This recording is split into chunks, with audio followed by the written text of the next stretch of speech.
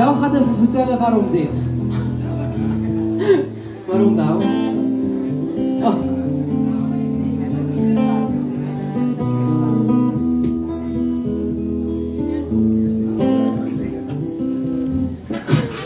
Als maar oud, ja. Martin en ik hebben een paar jaar, een paar jaar, jaren samengespeeld. En toen heeft Douwen het compleet verneukt. Laten we er geen woorden aan vallen. Grapje. Dankjewel, ja, thanks. Nee, ik ben juist heel, ik ben heel dankbaar voor de, voor de jaren die ik met deze man heb gehad. Jezus, wat een solo met ik. Dat was echt niet normaal. Dames en heren, Martin Schepping. Hij was echt wel even van een andere orde, vriend.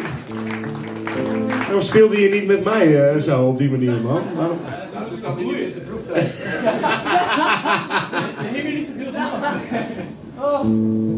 Ja.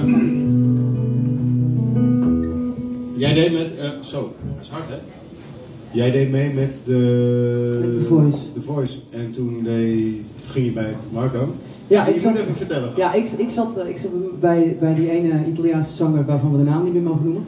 Echt wel. Marco Borsato, de beste, de beste zanger. Zeker. Marco Borsato. Ik zat bij Marco. Borsato in het team. En ik mocht, eh, ik mocht een, een liedje gaan schrijven met iemand. Dus, eh, iemand mag een liedje voor jou schrijven. ja, maar ik, ik, mocht, ik mocht met iemand een liedje schrijven. En voor mij was dat eigenlijk niet eens een. eh hoefde ik heel, niet heel lang over na te denken. Dat was namelijk. Nick, Nick schilderen. Ik schilder. Ja, die kon niet- niet, die kon niet. En toen belden ze mij.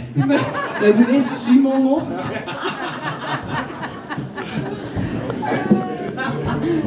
En toen belde ik Douwe. En eh, die had echt een heel mooi liedje.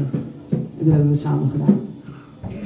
En eens kijken of het lukt, want... Dat, dat is al honderd keer fout gegaan, dus who knows. eh. Ja.